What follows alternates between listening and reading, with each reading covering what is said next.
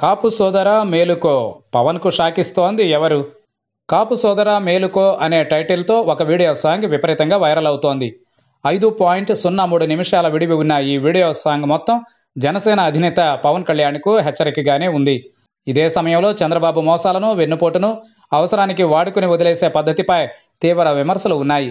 చంద్రబాబు మాయలో పడొద్దని చంద్రబాబు ముళ్ళ పల్లకీని మోయడానికి కాపులు సిద్ధంగా లేరని హెచ్చరించారు. ఇక్కడ గమనించాల్సింది ఏంటంటే టీడీపీతో కలిసి జనసేన ఎన్నికలకు వెళుతుందని పవన్ రాజమండ్రిలో ప్రకటించింది. ఈ నెల పద్నాలుగవ తేదీ మధ్యాహ్నం. అయితే పదిహేనవ తేదీ మధ్యాహ్నానికల్లా చంద్రబాబు నైజాన్ని విమర్శిస్తూ పాట రాసేయడం పవన్కు హెచ్చరికలు చేయడం గతంలో చంద్రబాబు చేతిలో వెన్నుపోటుకు గురైన ఎన్టీఆర్ వంగవీటి రంగ హత్యకు చంద్రబాబే కారణమనే ఆరోపణల ఉదంతాలన్నింటినీ ప్రస్తావించారు. పిల్లనిచ్చిన మామగారు ఎన్టీఆర్నే వెన్నుపోటు పొడిచిన చంద్రబాబు నీకు మాత్రం వెన్నుపోటు పొడవకుండా ఉంటారా అని పవన్ను నిలదీశారు.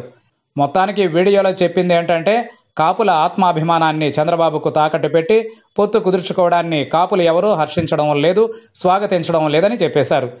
కాపు ఉద్యమ నేత ముద్రగడ పద్మనాభం కుటుంబానికి జరిగిన అవమానాన్ని కూడా ప్రస్తావించారు. ఈ వీడియోలో చెప్పారని కాదు గాని గోదావరి జిల్లాల్లోని కాపు సంఘాల్లోని ప్రముఖులు కొందరు టీడీపీతో పొత్తు పెట్టుకోవడాన్ని తప్పుపడుతూ వాట్సాప్ మెసేజ్లు సర్క్యులేట్ చేసుకుంటున్నారు.